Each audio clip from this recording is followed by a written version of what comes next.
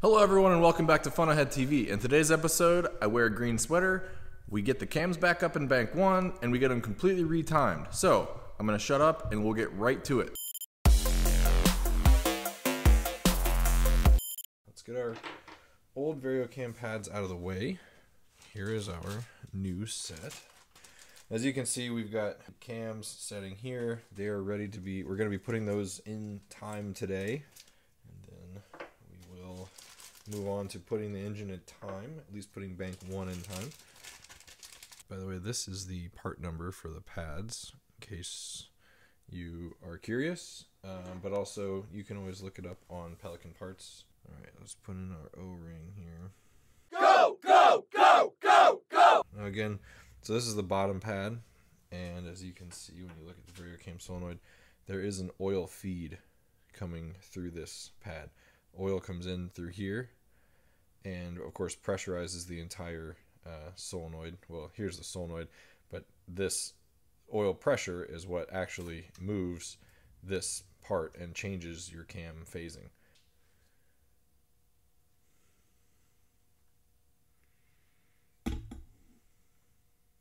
All right. You kind of had to. You kind of have to give it a little bit of an extra push. It, it clipped over, but then there's an actual lip on this, and you have to push it a little more so that the so that this part of of the whatever you'd call this this plat this surface can actually get under that lip and and fully hold this in place. Okay, just like that. Bottom one is on and replaced. Now we'll take our top one. Here's this lip again, so you can kind of see maybe it's hard to tell on the camera, but there is in fact a lip there. So we kind of hook the lip and then boop, pop it up and over, push that in, and we are held on. Our VarioCam solenoid is good to go and ready to go back in the car. This is our uh, VarioCam solenoid tool. We'll use that in a minute here once we uh, put everything in time. But to put it in time, first and foremost, you can see on this chain there are two lighter uh, links here. These links are exactly eight links apart. So one, two, three, four, five, six, seven, eight. You align this link up with, like each of the links up with this mark here on the camshaft sprockets. That's the intake cam, of course. And we will do the same. We'll, we have the same thing Oops, sorry. We have the same thing on the exhaust cam here as well. So we're going to take there. So you can see, maybe, we have our chain lined up, or that light link lined up with that dot. And then we're going to now take the exhaust cam. One, two, three, four, five, three, ah! Okay. And just like that, hopefully you can see. So there's the mark on the cam. There's the light chain link. Mark on the cam, light chain link. And you can count spaces in between. We have one, two, three, four, five, six, seven, eight. So actually, congratulations. Our cams are in time. Now, of course, there's more to this. So what we'll do is we'll take our VarioCam solenoid, put it back in, uh, in between, and then we can set the entire assembly into the engine and clamp it down with our cam caps here. And then we will truly put it in time relative to the crankshaft. And we do that using a special tool. But By the way, it's reverse threaded, so we're putting this in, reverse threading in, getting it down in there as far as it can. So I kind of tighten the nut down a little bit. All right, so we've got our nut taut now. I'm gonna just kind of turn this down, which we are compressing our entire solenoid at this point, so that it's that much easier to get it uh, installed between the two chains. Two chains, yeah, two sides of the chain. There's one chain, only one chain. Links are lined up, sweet, they are. And then now time to wrestle with this thing. Oh my gosh, that was a freaking ordeal. So sorry I had to uh, kind of pause the video there. You just kind of have to finagle with it. Now it's time to take the tension off of the uh, solenoid. Let the spring just release. So we're going to tighten, because remember reverse threaded.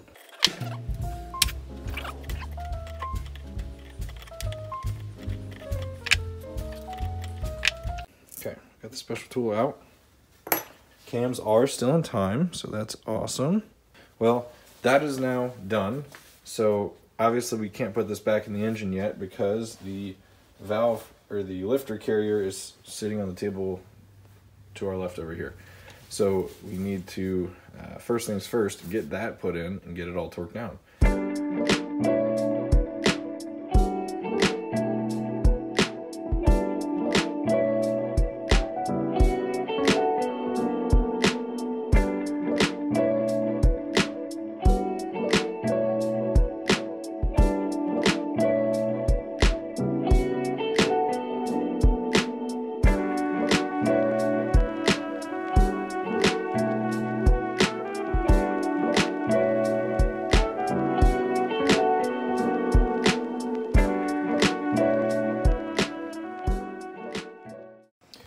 So as you just saw, we just got to this point. We basically reinstalled the uh, the lifter carrier. Um, so there are 15 bolts that go into the lifter carrier, all of which get torque torqued to uh, 10 newton meters. And you're supposed to kind of start in the middle and work your way out. So I started with these two, uh, and then the top and bottom, and you can just kind of work your way, you know, crisscross your way out, and uh, eventually you have everything torqued. And I was taking a sharpie to mark the bolts after I torqued each one of them. Then we put the lifters themselves back in. Uh, and of course, before doing that, I took uh, some assembly lube and just kind of rubbed it on the inside of the uh, lifter housing there to uh, make sure that the, the walls were all nice and lubed up. And then after we got the lifters in, went ahead and put some uh, assembly lube on the top of the lifters uh, just to kind of get those nice and lubricated and good to go uh, and prepared for uh, putting the cams in which is actually next. Uh, and in addition to that uh, I lubed up all of the journals within the cylinder head that will uh, that the cams ride on. So they are ready to go and ready for lubrication for the first restart eventually. Now we are to the point where uh, we're ready to put the cams back in. Or as you saw, we replaced the VarioCam pads. So those are all fresh and good to go. We got the solenoid installed back in the middle. The cams are in time relative to one another based on that eight chain link spacing. Get the cams installed. From there, we're gonna put it in time. And so I'll show you guys how to do that. Then this bank will be all done. All right, so let's get to putting these bad boys in.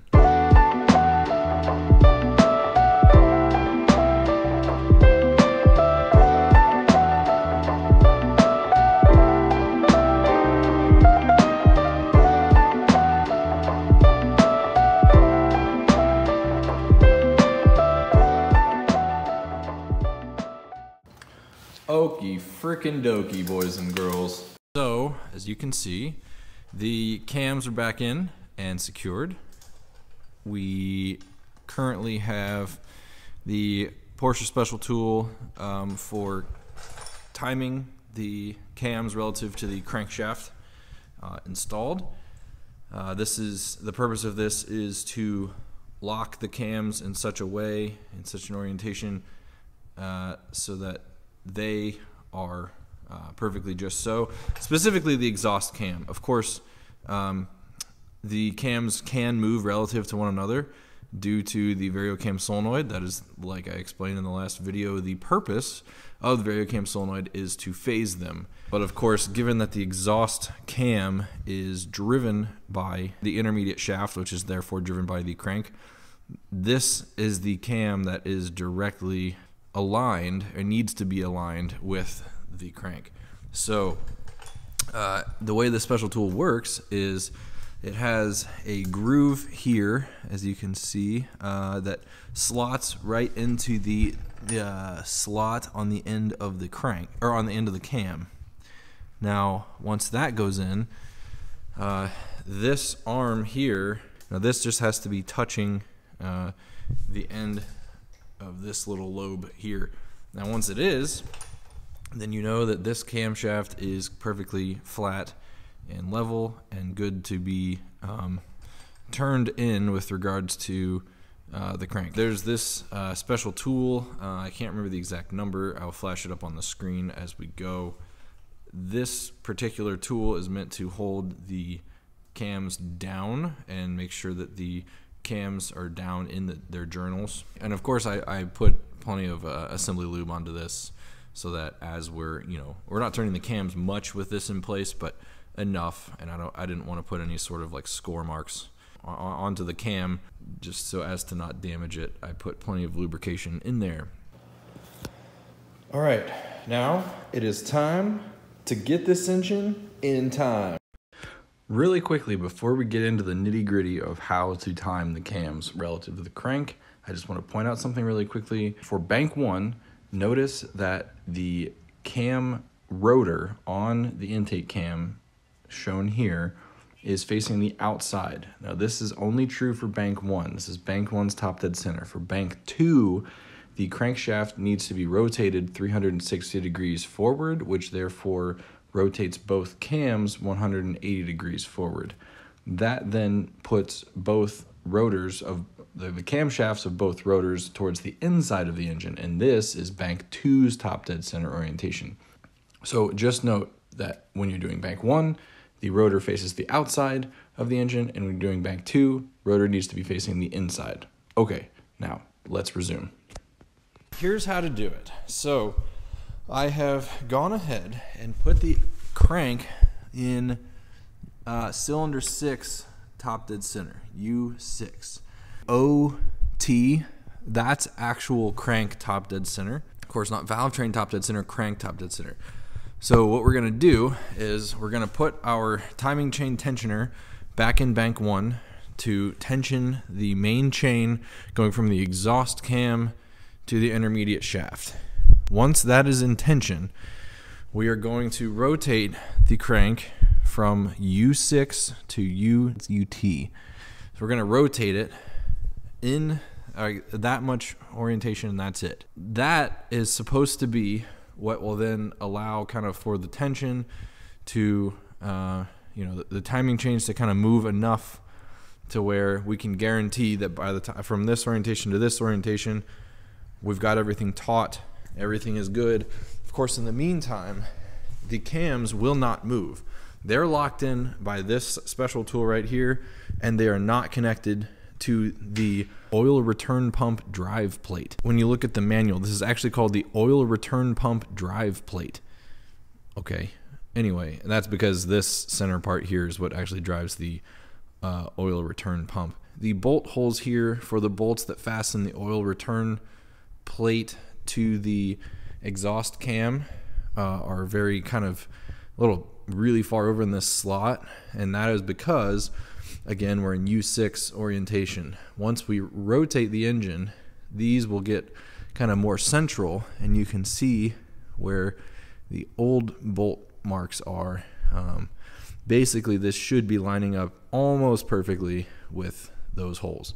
All right, so one thing to note about the timing chain tensioner. Um, this is actually a very new tensioner. I put this in the car not quite two years ago when I did the IMS bearing change on this car. There is a special tool for this, and it is tool number 9599, and it is actually a um, screw set timing chain tensioner so that you have the exact amount of, like the correct amount of preset tension in the chain. Now, I've read and I've watched videos and seen that you can actually use your base or your regular timing chain tensioners. They will do as long as there's oil in them. Now, if you have a brand new tensioner and you just got out of the box, you need to preload the tensioner with oil by submerging it in oil and compressing the, uh, the tensioner. Now, of course, mine have been run a lot and they're full of oil, uh, so I know uh, I know, and not much oil has gotten out of it, so I know that these are good to go, and I can use it for this purpose. Okay, so it is now time to torque down the timing chain tensioner, which gets torqued to 80 newton meters.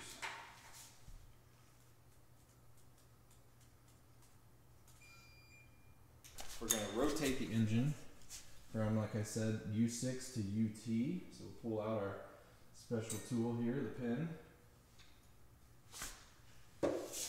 Don't want to overturn it here, so I'm going to be very careful.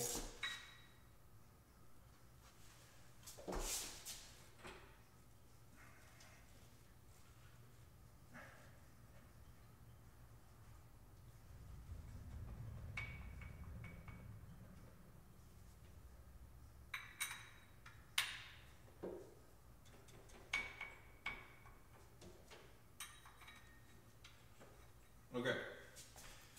That is in. As you can see, we're on UT. And there are our bolts, are our um, orientation for the oil return pump plate, drive plate. All right, so here's these bolts.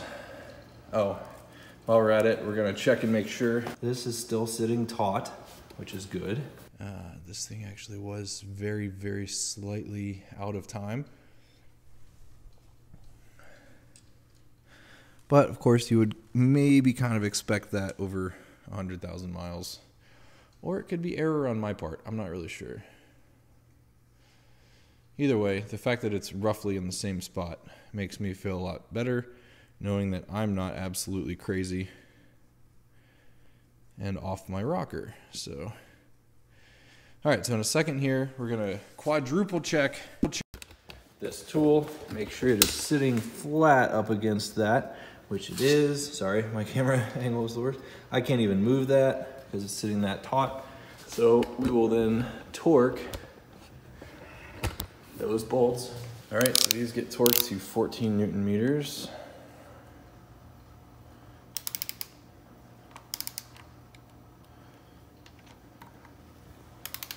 Just gonna get a little bit of tension in them before I fully torque them since we are putting some rotational, I mean, torque is torque. We're putting rotational torque into the system and I don't want to move anything. I need it all to be locked down in the, this exact orientation. Okay, 14.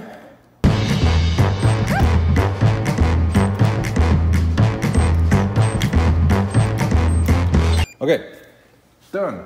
This bank is in time. All right, everybody. The guy with the green sweater's back.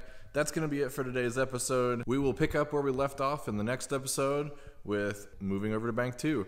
Thank you so much for tuning in to FunAhead TV. One,